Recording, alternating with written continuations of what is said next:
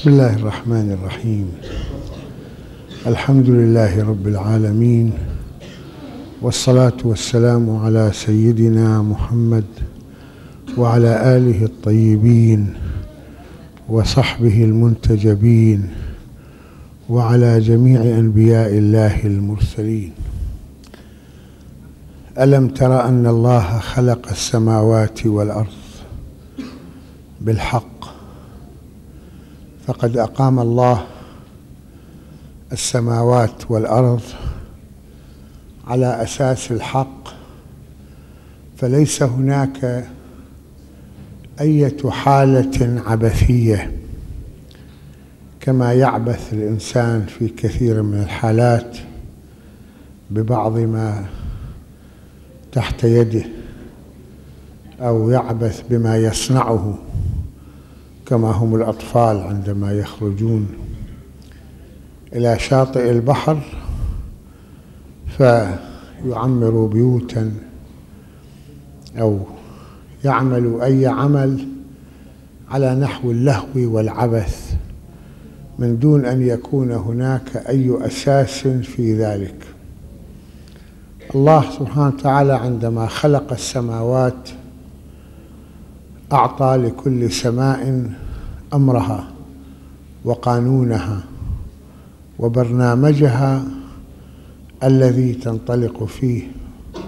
وهكذا عندما خلق الأرض أعطى كل ظاهرة من ظواهرها وكل موقع من مواقعها القوانين والبرامج التي لا تنحرف عنها قيد شعرة. ولذلك نجد أن كل العلماء المكتشفين سواء كانوا مؤمنين أو كانوا غير مؤمنين عندما ينطلقون في خط الاكتشاف اكتشاف الأرض واكتشاف الفضاء فإنهم يحملون في داخلهم فكرة أنه ما من شيء في الكون إلا وله سر إلا ويخضع لقانون إلا ويخضع لأساس لأنه ليس هناك عبث في الخلق. وكما أن الله أراد خلق السماوات والأرض على أساس الحق أراد للناس الذين يعيشون في السماوات والأرض أن تكون حياتهم في كل الأمور التي تتصل بخياراتهم أن تكون على أساس الحق. لأن الباطل يمثل الحالة اللا معقولة يمثل الحالة غير الثابتة. بينما الحق يمثل الحالة الثابتة. ألم تر أن الله خلق السماوات والأرض بالحق؟ يعني فكر وفتش وتحرك في أي موقع من مواقع السماوات والأرض فإنك تجد حقا في كل ظاهرة من الظواهر وفي كل موقع من مواقع لا يقترب الباطل إليه ولهذا لأن السماوات والأرض بنيت على الحق لذلك نرى أن كل الظواهر الكونية لا يمكن أن تتغير مع مرور ملايين السنين. الشمس بعدها الشمس مثل ما كانت قبل ملايين السنين نفس الشيء قمر كذلك حركة البحار وقوانين البحار حركة الأنهار وقوانين الأنهار طبيعة الجبال طبيعة السهول طبيعة القوانين العامة اللي تحكم الإنسان. فلو كانت المسألة مسألة عبثية ولو كانت المسألة مسألة صدفة مثل ما يقولون الملحدين أن الكون خلق هيك ما بصير الصدفة ما بتستمر وما تثبت وتتزلزل وتنحرف مع أن الكون كان على صورة وهو الآن على نفس الصورة. يمكن يتغير الإنسان في بعض أعماله وأفكاره لكنه القوانين العامة في بناء الحضارات وفي سقوط الحضارات كلها واحدة. ألم تر أن الله خلق السماوات والأرض بالحق؟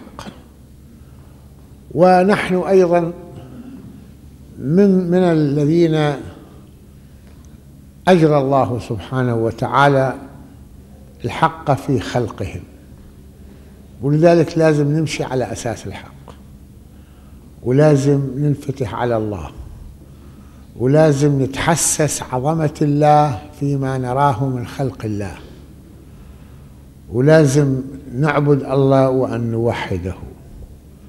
ولازم نعرف أن حياتنا بيده فهو الذي خلقنا كما خلق السماوات والأرض. وأن زوالنا بيده. وتحدث الله سبحانه وتعالى عن مسألة مين أنتم تتكبروا تتجبروا. واحد بيقول والله مين وين الله؟ وشو الدليل على وجود الله؟ واحد يتمرد على الله واحد يعصى الله. الله هو تارككم أعطاكم الحرية. صح. ولا يحسبن الذين كفروا أنما نملي لهم خيرا لأنفسهم إنما نملي لهم ليزدادوا إثما. لكن الله إذا بده يشاء يذهبكم كلكم ويأتي بخلق جديد. وما ذلك على الله بعزيز. الله خلق الدنيا بحرفين كن. ويستطيع أنه يزيلها بحرفين زل. يقول لها زولي فتزول. مثل ما قال لها كوني فكانت. وإذا الإنسان يريد يفهم هالتهديد الإلهي كيف الله سبحانه وتعالى؟ هيك يفني العالم كله مليح. هلأ إحنا هالجيل الجديد جيل مع الإبن. هلأ أغلبنا يعني غالبا جيل الشباب. في جيل ابن الخمسين وابن الستين موجود سبعين.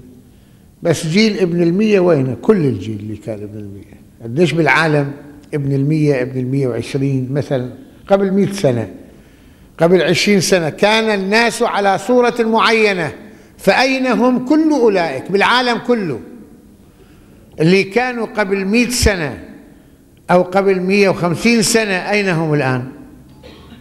خلقهم الله وأزالهم الله.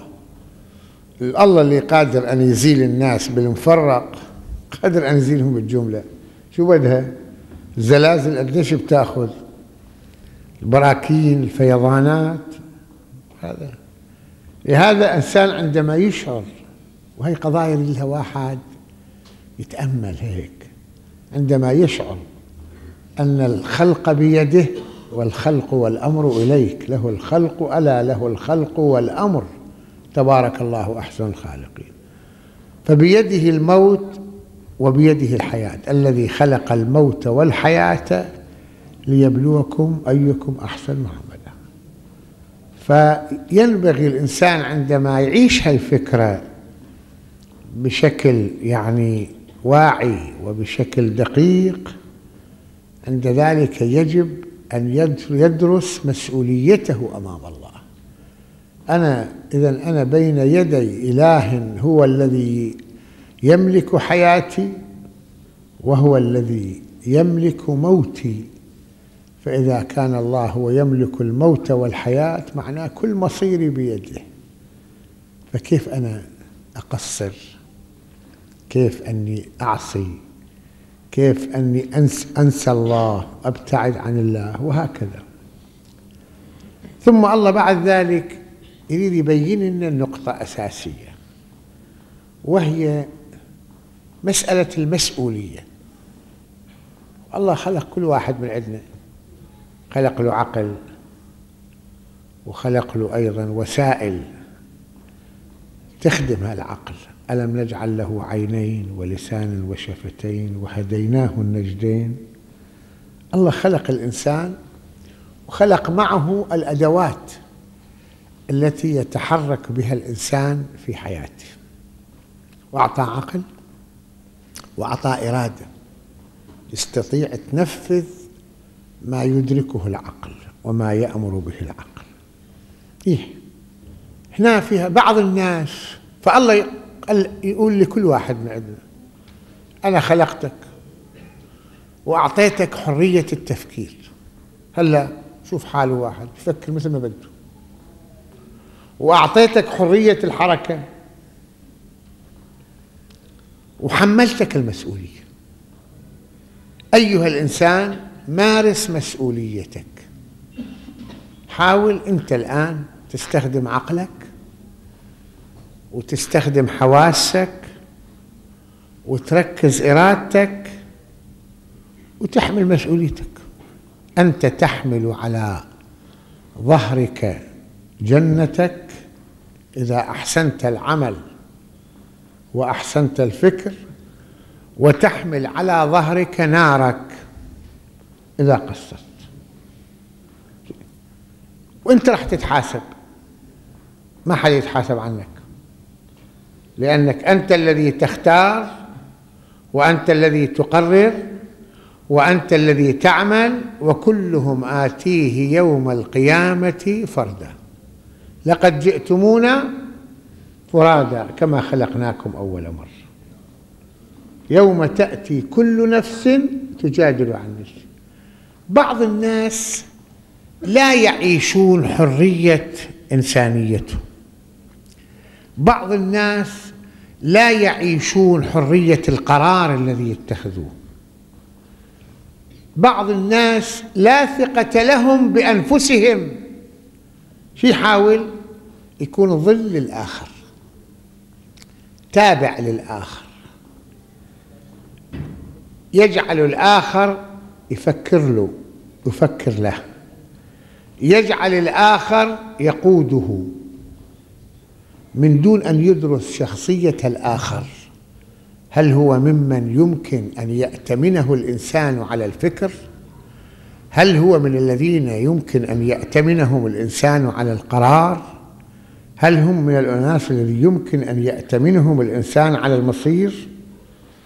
غالبا إحنا لما عم نتبع الناس ليش عم نتبعهم؟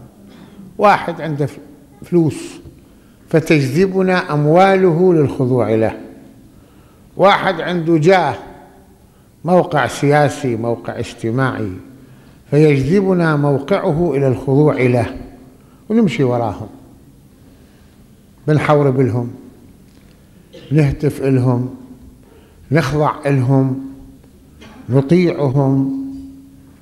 لماذا الإنسان في حمى تأخذه؟ هاي العصبية والعاطفية تحول الإنسان إلى حالة من الحمى التي تعمي عينيه. ما في الدخان بأوقات يصير الإنسان العصبية تجعلك تشعر بعمى القلب فإنها لا تعمى الأبصار ولكن تعمى القلوب التي في الصدور. هون الله اللي يبين لنا يا جماعة ترى لازم كل واحد يقرر لنفسه بنفسه. لازم كل واحد يفكر لنفسه بنفسه. لازم كل واحد يختار لنفسه مصيرها يختار لنفسه طريقها. بدك أنت مع الآخرين؟ نعم فكر معهم. قل لهم فكروا معي ولا تقل فكروا لي. في فرق. مرة تقول لهم بدي أفكر معكم. أنا عندي وجهة نظر. شو وجهة نظركم؟ يصير في حوار تنضج الفكرة وتأخذها. بينما تقول له أنا مش فاضي فكر. أنت فكر لي. طبعا كل واحد بده يفكر لك على طريقته. وكل واحد بده يفكر على مصلحته. وعلى حسب خصائصه. مش على حسب خصائصك.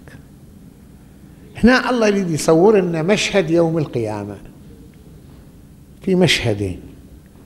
مشهد الناس الذين مستضعفين والمستكبرين. الضعفاء والأقوياء. لأن الضعفاء كانوا يمشوا وراء الأقوياء. إما ضعفاء المال أو ضعفاء السياسة أو ضعفاء السلاح أو ما عادة يمشوا وراء الأقوياء. ليبين للضعفاء أن تبعيتكم للأقوياء سوف تورطكم في مواقف تهدد مصيركم. وأن عليكم وأنتم في الدنيا قبل أن تعيشوا هذه التجربة أن تفتشوا لأنفسكم عن وسيلة تستطيعون من خلالها أن تتخففوا من ضغط الأقوياء عليكم. ما في عندنا آية؟ إن الذين توفاهم الملائكة ظالمي أنفسهم يعني كفروا فسقوا ظلموا أنفسهم. قالوا فيما كنتم؟ ليش أنتم كنتوا على شيء؟ قالوا كنا مستضعفين في الأرض. ما لا حول لنا ولا قوة. دراويش. وضغط علينا المستكبرون. قالوا كنا مستضعفين في الأرض. قالوا مستضعفين؟ عندكم فرصة؟ إذا كنتم موجودين بهالبلد وفي هذا في بلاد الله واسعة. قالوا ألم تكن أرض الله واسعة فتهاجروا فيها. فأولئك مأواهم جهنم وساءت مصير فالضعف ليس مبررا للإنسان بل على الإنسان لما الطريق مسكر عليه يفتح ثغرة يبحث عن ثغرة ما دام في عندك ثغرة تستطيع أن تنجو بها ما دام أنت مش معذور أمام الله. نعم في بعض الحالات لما ما عندك مسكرة عليك مغلقة من جميع الجهات ذاك الوقت هذا هنا الله يصور لنا المشهد الأول. مشهد الضعفاء والأقوياء. المشهد الثاني مشهد الناس مع الشيطان. الناس اللي يتبعوا الشيطان راح يحملوه كل مسؤوليتهم. نشوف أيضا دفاعات الشيطان كيف. إحنا أقوى من عنده هو أقوى من عندنا بالدفاع يعني. النقرأ وبرزوا لله جميعا. كل الناس يوم يقوم الناس لرب العالمين. هذا ذلك يوم مشهود له الناس كل الناس مجتمعة من الأولين والآخرين. قل إن الأولين والآخرين آخرين آخرين لمجموعون إلى ميقات يوم معلوم. وبرزوا لله جميعا. ورأى الضعفاء كيف أن مصيرهم يتجه إلى النار. فقال الضعفاء للذين استكبروا يعني التابعين للمتبوعين الظلم للزعماء. إنا كنا لكم تبعا كنا تابعين لكم في كل حربكم في كل سلمكم. في كل ظلمكم في كل قراراتكم. كنا يدكم الذي التي تضربون بها. كنا الوسيلة التي تصلون بها إلى أهدافكم. قدمنا لكم خدمات كبرى في الدنيا. وأنتم ذوات. بل كنت تعملون طريقه هيك تبعثون فذكرت لمالك خازن النار أنه ما بيدخلنا بالنار. عملونا مثل ما كنتم تبعثون لنا كروته بذاك الوقت لهالقاضي لهالحاكم لمأمور السجن لهالرئيس. الآن جربوا القصة إنا كنا لكم تبعا فهل أنتم مغنون عنا من عذاب الله من شيء؟ هل تستطيعون أن تخففوا شيئا؟ قالوا لو هدانا الله لهديناكم. إحنا مثلكم. وأنتم اتبعتونا إحنا ما نتحمل مسؤوليتكم. وما في فائدة علينا أن نواجه مصيرنا جميعا سواء علينا أجزعنا أم صبرنا. ما لنا من محيص ما في فائدة. ما لنا مخلص. هذه الصورة شو معناتها؟ ليش الله يقدم لنا إياها الآن؟ وبعد لم تقم قيامتنا. كل واحد عنده فرصة. حتى من هلا نفكر أيها الأحبة. أن أن الله خلق لنا عقلا فعلينا أن لا نعير عقلنا لأحد ولا نؤجر عقلنا لأحد.